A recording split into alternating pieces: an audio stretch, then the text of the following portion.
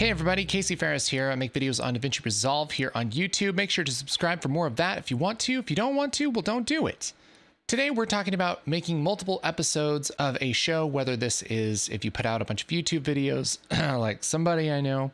this is whether you're doing something like a TV show or a YouTube show that, you know, has multiple episodes, anything that you kind of reuse elements with. Here's just a couple tips. This is going to be really practical. This isn't like some secret or like template hack or anything. This is a really practical, just this is how I do things like this, and I hope it's helpful for you guys. So let's say we have a show and its name is some show. I don't know, some kind of show name. We have a fancy little intro here. This is made in Fusion with some 3D text. And let's say we're going to put out multiple episodes and they all have this intro and they're all basically kind of the same thing. First thing I would do is actually make the intro if you haven't already. And here's what that looks like for anybody who is curious. And you can leave an intro like this as a Fusion composition if you want to, and that can just live as a composition in your media pool here. The cool thing about doing it this way is if you had something like a subtitle here, so let's add something like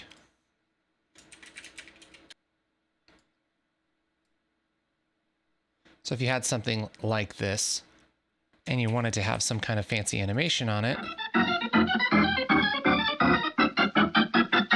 like this,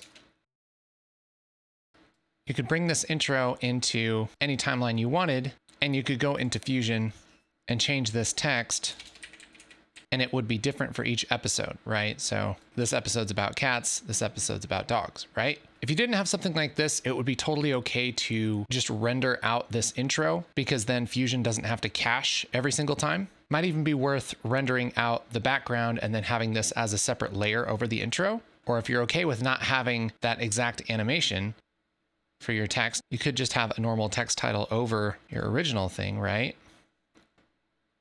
And you could do it that way. It just kind of depends on what you're making. But basically, you'd have your intro. If you need it editable, you can leave it as some kind of fusion composition. If not, you could do something like select this, right click, and say render in place. And you could do a high quality render of this video, put it somewhere super pro. Now you don't have to wait for this to render every time. You could do something like put your other title over it, right? Maybe you have some sound design. That'd be pretty cool. And you could keep those separate like this, or you could select them, right click, and make a compound clip. We call that intro.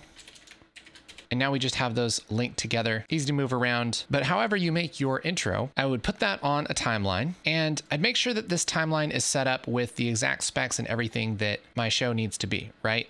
So if my show is 1920 by 1080, at 24 frames a second. That's great. Make sure that's all good. And I basically just set up one episode here, right? So I throw in the main content and everything and build out one episode. Let's say you're doing your vlog, right? And you're an astute businesswoman doing typing. Maybe you have some kind of outro, got your voiceover, and your whole episode's set up, right? I would go into Fairlight, make sure that any audio filters or any mixing kind of things are set right. And I would do it by the track actually. So I would make all of these tracks, like this would be like VO, and then this would be like sound effects, right? Whatever tracks that you have that are going to house like common things for each episode. And I do whatever common filters and everything you normally add to your audio here on each track. EQ, whatever it is. And all of that lives in this timeline and get everything set for this episode. Then after everything's built, because the, the reason why you want to build everything is so that you know what goes into it, right? It's hard to kind of plan before you even make something because there's going to be things that come up that you don't really see coming. But once you've built the entire episode and you're happy with it, what I like to do is get organized. So up here in the media pool, we'll make a couple bins. We'll make one for episode media.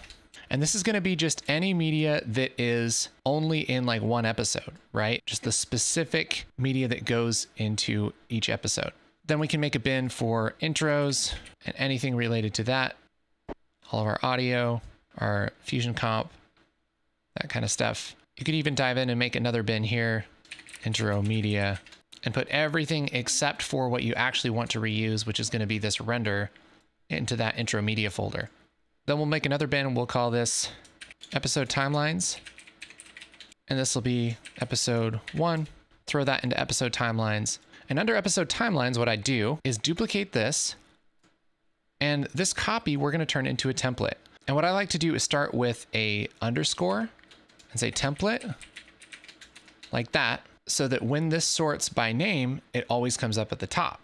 Then we can double click on this. And now, since this is a duplicate of our first timeline, we can really mess this up. And the worst we could do is have to go back to episode one again, right? But we get rid of anything that is gonna just be in one episode. Then we have our template ready. And what we can do is go up to where it says template, right click and say duplicate timeline. And now we'll have episode two. Double click on episode two. And what I like to do is when I have my content shot is just kind of go to the end of this timeline, like way over here, and drag this in. And I can do my edit, right? Whatever craziness I want to do with my edit, make my content beautiful for the episode without the intro or outro. Don't worry about that, just the bulk of the content. And then I can take this and hit control shift so that it will move the outro out of the way. And then we can just get rid of these gaps. And now we have our episode working beautifully. And then of course we change this part to something a little more accurate. You know, just, um, you know, whatever's, whatever's true, whatever's right. We can change our graphics for that. And so this is great because it's already set up for us and we can just hit render. And we always have our template to go back to for our next episode. And you can just build your episode timelines here. You can organize your episode media by episode. That's a great way to just kind of manage this sort of thing in one project. You can also make multiple projects if you want to. You could just save this project as a new project and kind of use that as a template, but it's the same basic workflow. You know what I'm saying? And this is how you make some show. If you want more stuff about making shows, here's a video right here that will help you with that. Some show. It's short, concise, descriptive. Probably want to learn how to edit